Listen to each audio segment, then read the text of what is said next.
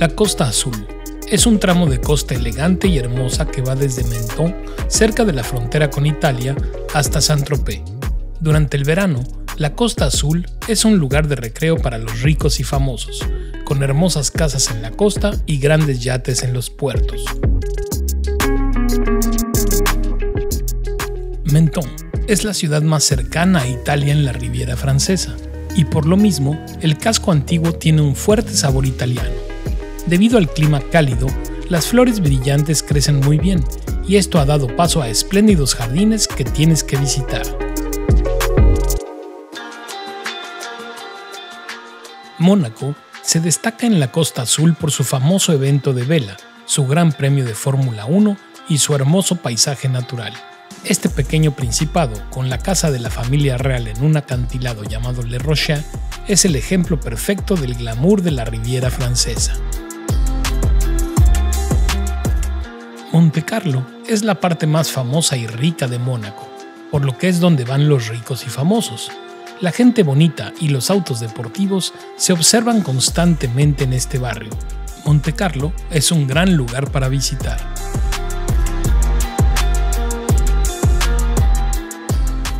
El casino y el Teatro de la Ópera de Monte Carlo se encuentran en la Plaza del Casino, un elegante espacio público en el barrio más famoso de Mónaco.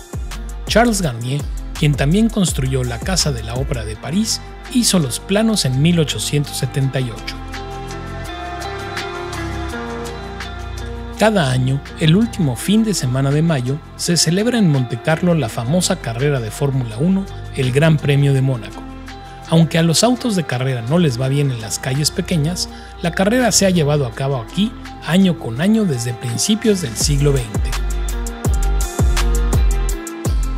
El Museo Oceanográfico de Mónaco se encuentra en un hermoso lugar junto al mar y está construido sobre enormes bases que tardaron 11 años en construirse. Las importantes colecciones científicas del museo incluyen objetos encontrados por Jacques Cousteau mientras exploraba los océanos del mundo.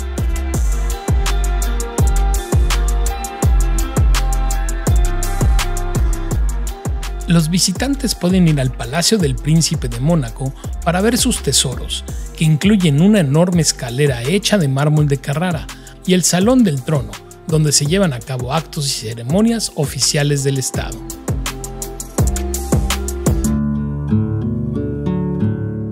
Ese es una joya de la Costa Azul, una ciudad medieval que se asienta sobre una empinada colina con vistas panorámicas de la costa, de Cap Ferrat y del mar Mediterráneo. Caminando por las estrechas calles empedradas del pueblo, puedes encontrar lugares como pequeñas galerías de arte e interesantes tiendas de artesanías. En 1860, Francia se anexó el condado de Niza, y en 1904 Saint-Jean se convirtió en su propia comuna.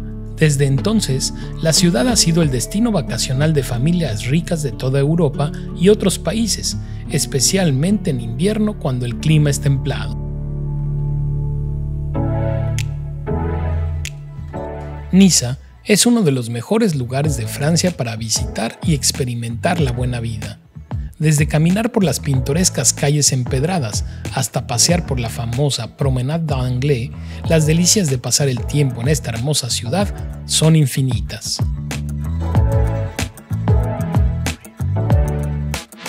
Con pequeños callejones y calles empedradas, la ciudad vieja de Niza, también llamada Babazouk, es un excelente lugar para visitar, Comienza en el extremo oeste de Colline de Château y tiene un ambiente animado que te recordará a algún pueblo de Italia.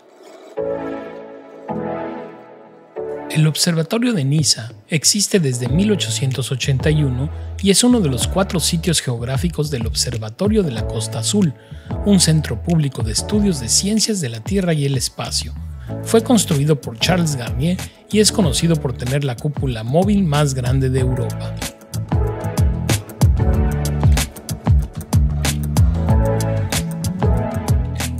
El Museo Matisse está en la colina de Simiés y es un encantador museo que se encuentra en una antigua casa genovesa con hermosos jardines de estilo italiano a su alrededor. Hay 31 pinturas y 57 esculturas realizadas por Matisse en la colección principal.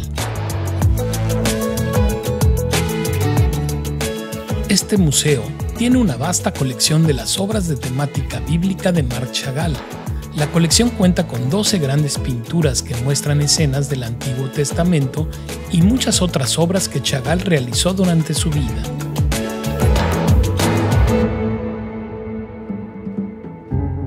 El casco antiguo de Antibes, rodeado de murallas, es un excelente lugar para pasear. Las calles están llenas de pequeñas tiendas, cafés y restaurantes. Caminando, puedes encontrar cosas hermosas como callejones cubiertos de bugambilias y plazas sombreadas con terrazas para comer al aire libre.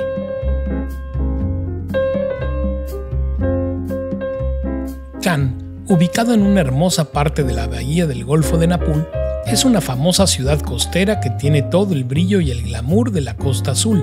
Playas privadas, puertos deportivos repletos de yates de lujo, refinados bulevares, elegantes hoteles y restaurantes de moda.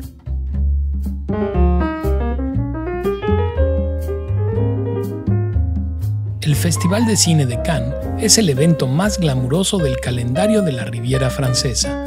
Los locales y visitantes observan la escena en el Palacio de Festivales y de Congresos mientras las estrellas caminan por la alfombra roja. Descubrir quién gana la Palma de Oro y el Gran Premio siempre es emocionante.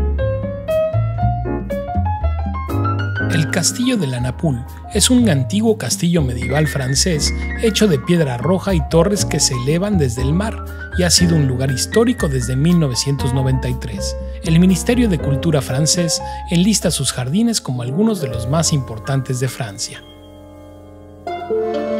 Este conocido lugar de vacaciones en la costa solía ser un pequeño pueblo de pescadores, pero ahora es un lujoso resort de playa en una hermosa bahía, con sus calles empedradas y parques sombreados, el centro histórico de Saint-Tropez tiene un aire encantador del viejo mundo y un ambiente muy provenzal. La capilla de la Anunciación fue construida por una hermandad católica en 1510. Actualmente es un museo de arte y uno de los lugares más populares para visitar en Saint-Tropez. El museo se encuentra a pocos pasos del mar y cuenta con una gran colección de pinturas impresionistas, neoimpresionistas y vanguardistas que muestran la historia artística del pueblo.